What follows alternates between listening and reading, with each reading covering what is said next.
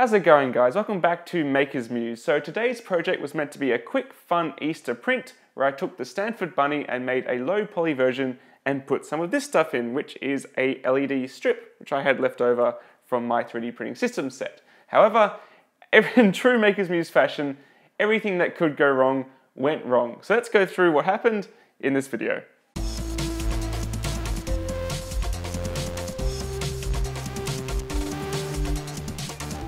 Welcome back guys. So as I said, I wanted to make a low poly version of the Stanford Bunny and put some LED light strips in it. Sounds pretty simple, but things didn't exactly go according to plan.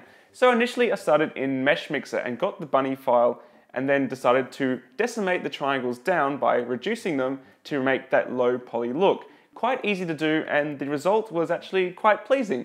Although I did notice that some areas became quite thin and because you're actually reproducing this file in real life with 3D printing, you have to be careful that those thin areas won't be too fragile. So what I did is I used the grab tool in the sculpting menu to then just slightly pull those triangles out to add a bit more thickness. Next, I wanted to consider the fact that I wanted this to be hollow, but I needed some way of putting the LED strip in. And this was my first mistake. So when you want to make a hollow shape, for 3D printing, usually it's easier to just set zero infill in your slicing software. But by doing so, you can't have a hole, which means I wouldn't have been able to put this in. So I thought I'd be quite clever and do a hollow in Mesh Mixer, which worked fairly well, although there was a few settings I needed to tweak because the triangle count was either too high or too low for my liking. And then I wanted to Boolean difference, which was basically cutting away a slot for this LED strip. So for those who don't know, in Mesh Mixer, it has gotten much better, but Boolean differences and Boolean unions with low triangle count objects is never a really good idea. You want to give it more triangles to work with. So then what I did is I selected the area I wanted to do the Boolean difference and I added more triangles, which slowed the file down quite a lot because there was a lot more triangles. And it did work, but it didn't look the best. I just used sort of a stretched ellipse shape. And then I had to simplify those triangles back to make the file more workable. After all this, I had my file. It looked pretty good, but it was definitely a lot more effort than should have been involved. I should have just reduced it and then gone to my slicing software. But anyway, I then took it into Simplify 3D and realized my second mistake. In reducing the triangles for my file, I made the base no longer flat. It actually had these sharp triangles in it and it was no longer dead flat, which means it needed support material under the print. Now, normally I would have just gone straight back and started again and made sure it was flat, but I'd spent all that time hollowing it out that I decided to just proceed. So moving on, my initial idea was to use my spray painting hack, which I did a while ago, to add some neat color to my 3D print. So I got some filament, some clear PLA, and I sprayed it with orange and silver and regrettably a little bit of green. Now, anyone who's involved in art or knows anything about color, that was a terrible idea. I knew it was a terrible idea, I just kind of did it anyway. And what that resulted in was a horrible brown-ish color because the green overpowered everything else and green and orange just makes brown. Then, basically, I noticed I hadn't sprayed enough. I hadn't cut enough filament off to complete my print. So I had to change back over to clear PLA.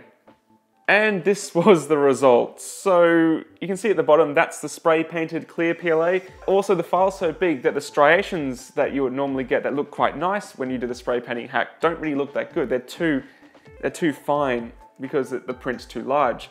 And you can see I started to run out there, so I had to put the clear PLA back in. Also, my temperature was too high. I had it set at 215 degrees C, which works well for other brands of PLA, but was too high for this no-name Chinese clear PLA I was using. Anyway, at the end of the print, it was a little bit stringy. I cleared off supports. It did work pretty well, but mm, pretty, pretty ugly print. So I decided to print it again with just clear. But this took like six or eight hours or more actually. I didn't want to wait that long because I wanted to get this up by Sunday, so I did a smaller print. And this is the smaller print. Actually turned out really nice. I reduced the temperature down to 200, which made a big difference. And also I sunk the print down a tiny bit into the bed using Simplify 3D. And what this meant is the base was much flatter. because it cut away a lot of that support that was from the jagged triangles. Again, which I should have not had in the first place. Anyway, but it actually worked pretty well. It printed quite nicely and there was no wisps like there was in the other print. So, happy with my new little print, I decided to add in the LED strips. And I've lost count of how many mistakes I've made, but because I shrunk it down, the slot was too small. Bugger. That's okay though, so I got my soldering iron and I decided to just, basically it's PLA, heat it up and just melt the slot out bigger, which actually worked really well.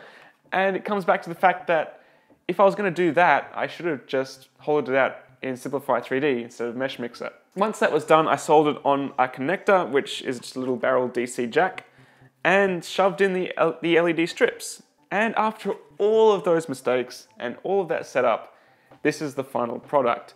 And it looks great. It turned out really well. I'm actually really happy with it. I'll plug it in. And that's how it looks. It actually looks really cool. The LED strips are kind of just jumbled up inside, but it has a really nice clear look to it. This is nice clear PLA. It doesn't have any of that sort of yellowish tinge some other PLA does. I'm really happy with it. The final result after all that heartache was actually pretty good. So, things I would improve for next time. Firstly, I would make sure the base of my file is flat before exporting my STL file for printing, because that makes 3D printing it a lot easier. Secondly, I wouldn't bother hollowing it out in Mesh Mixer. Instead, I would print it with zero infill in Simplify 3D or another slicing program, and then simply use a soldering iron to melt a slot into the bottom.